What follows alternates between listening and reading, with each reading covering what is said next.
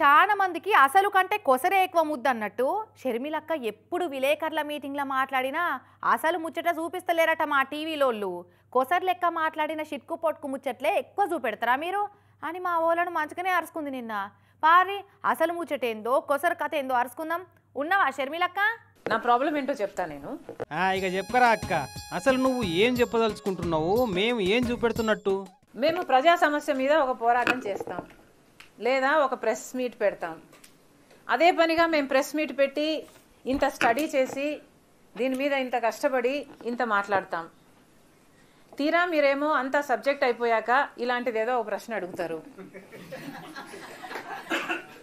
Yeah? So ఇదంతా మర్చిపోతారు. మీరు హైలైట్ చేసే ఏకైక విషయం ఏమిటి అంటే నేను జగన్మోహన్ రెడ్డి గారి మీద ఏం చెప్పాను? నేను జగన్మోహన్ రెడ్డి గారిని ఖండించాను. ఇది ఒక్కటే హైలైట్ అవుతుంది. ఇది ఎక్కడి న్యాయం అని అడుగుతున్నాం. అవు కరెక్టే అక్కు. కానీ సినిమా చూసి బయటకు వచ్చిన వాళ్ళను సినిమా ఎట్లుంది? హైలైట్ ఏమనిపించింది అని అంటే ఓ రెండు పాటలు ఫైటింగ్లో డైలాగులు అని ఇట్లా ఏవో కొన్నే చెప్తారు కానీ సినిమా స్టోరీ అంతా చెప్తే ఏం బాగుంటుందక్క అయినా మీరు ఏపీ కాంగ్రెస్లో పెబ్బైన కాడికి వెళ్ళి మీ టార్గెట్ అంతా జగన్ అన్నే ఉండే కదా? అందుకే అవే హైలైట్ అవుతున్నాయి. మేము జగన్మోహన్ రెడ్డి గారికి వ్యతిరేకంగా మాట్లాడితే ఆ బిట్ మాత్రమే కవర్ చేస్తారు. మేము ఎట్లా సర్వైవ్ అవ్వాలి? దిస్ ఇస్ నాట్ రైట్ అయ్యో గట్లంటవేందక్క పబ్లిక్ ఇష్యూస్ నేను మాట్లాడుతున్నది. ఇక్కడ అదాని జగన్మోహన్ రెడ్డి గారికి లంచం ఇస్తే నాకు పైసా రాలేదు.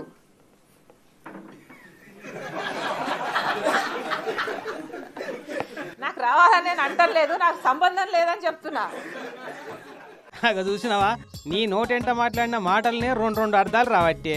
అయినా అన్నం ఉడికిందా లేదా అని తెలియాలంటే అన్నం అంతా పట్టుకొని చూస్తారు ఒక్క మెతుకును ఒత్తి చూస్తే చాలదా?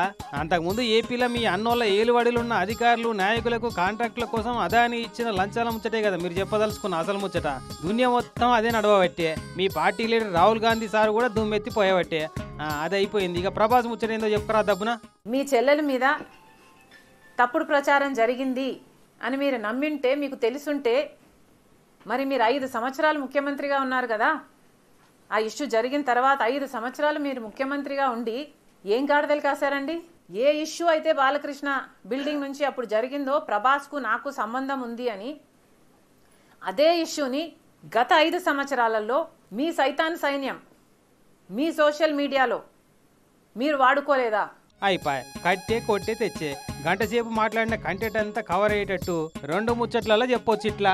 అయినా పక్కోళ్ళ ముచ్చట మాకెందుకు కానీ మా ఇస్మార్ట్ వార్తల్లో మాత్రం పక్కా కవరేజ్ ఉంటుంది అక్క మీది. మీరే చూస్తలేనట్టున్నారు.